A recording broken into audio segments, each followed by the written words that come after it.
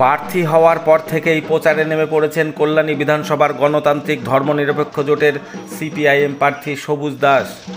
মঙ্গলবার সকালে মদনপুরের বিভিন্ন এলাকায় প্রচার সারেন তিনি। প্রচারে তিনি বলেন, মানুষ কাজ চাই কর্মসংস্থান চাই যা তৃণমূল দিতে ব্যর্থ। জেতার ব্যাপারে তিনি আশাবাদী, কারণ প্রচারে বেরিয়ে বিপুল মানুষের স্বতঃস্ফূর্ততা লক্ষ্য করছেন বিজেপি তৃণমূলের বিরুদ্ধে।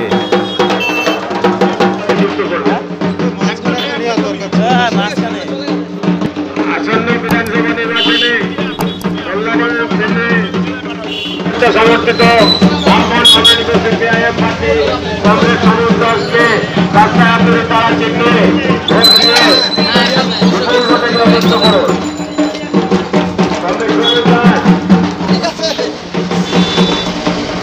আসন্ন বিধানসভা আপনার যে মূল্যবান ভোটাধিকার, এই ভোটাধিকারের মধ্য দিয়ে এলাকায় তৃণমূল কংগ্রেসের যে বড়তা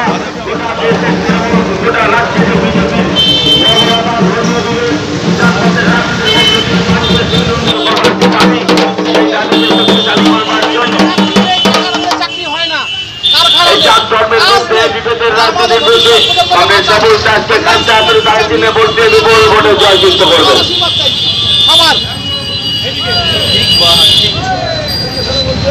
আপনারা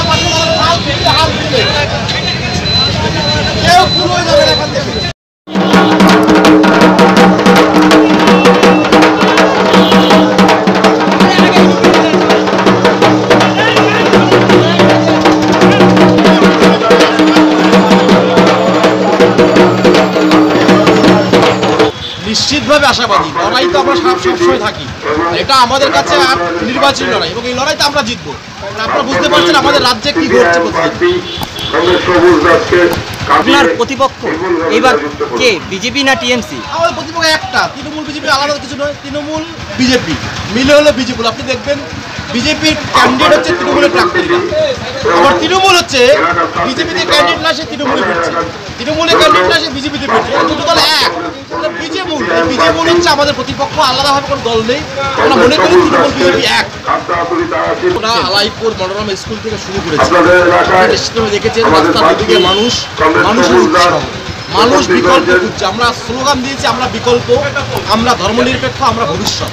আপনারা দেখেছেন আমাদের মঞ্চে কেউ ভগবানের নাম নেয় না কেউ মন্দিরের নাম নেয় না কেউ মসজিদের নাম নেয় না। আমরা বলেছি কারখানা চাই কাজ চাই। আমরা বলেছি বেকারের কর্মসংস্থান চাই। আমরা বলেছি ফসলের দাম চাই আমরা বলেছি আমাদের রাজ্যে সাড়ে পাঁচ লক্ষ শূন্য আমরা বলেছি যে আমাদের রাজ্যে সিঙ্গুরে নতুন করে আবার কারখানা। আমরা বলেছি নতুন প্রজন্মকে বাঁচিয়ে তুলতে হবে। স্কুল, কলেজে লাগামহীনভাবে ফি- ফি বৃদ্ধি পাচ্ছে? টাকা না হলে কলেজে ভর্তি হতে পারেনি। অনার্স ইংরেজি অনার্স কুড়ি হাজার টাকা ম্যাথমেটিক্স অনার্স পঞ্চাশ হাজার টাকা ফিজিক্স অনার্স পঞ্চাশ হাজার টাকা। তাদেরকে দিতে হচ্ছে? তৃণমূলকে দিতে হচ্ছে। তৃণমূলের সংকটে পণ্ডা এই হচ্ছে তোলাবাজি চালু করে আজকে সে বিজেপিতে ফলে তৃণমূল বিজেপি আজকে এক জায়গায়। আমরা বলছি কলেজের ভর্তির ফি কমাতে হবে কাউকে। টাকা না দিয়ে কোনো নেতাকে টাকা দিতে ভর্তি হতে না হয়। তার জন্য আমাদের লড়াই আমরা জিততে পারি। কলেজ আমরা বলব যে অবিলম্বে গরিব ছাত্রদেরকে ভর্তি করাতে হবে ভর্তির ফি অর্ধেকের নিচে নামিয়ে নিয়ে আসতে হবে? আর এইভাবে মানে যদি এখনও আমাদের খবরের দর্পণ চ্যানেলটি সাবস্ক্রাইব না করে থাকেন, তাহলে এখনই সাবস্ক্রাইব করুন।